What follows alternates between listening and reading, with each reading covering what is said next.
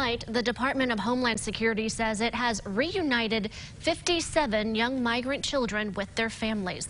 A judge had ordered DHS to reunite children under five with relatives by this weekend. But as Mark Meredith reports, the status of thousands of older migrant children remains unclear.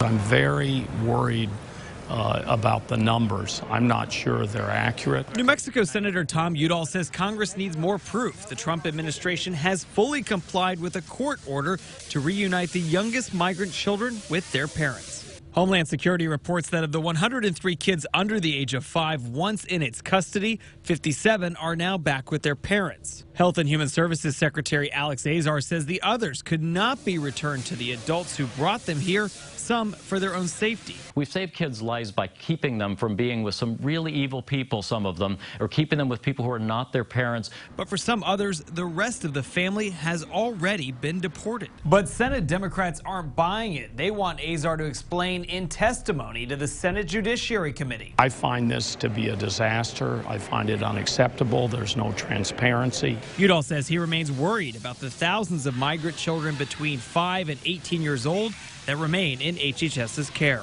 In Washington, Mark Meredith, News 4, Utah.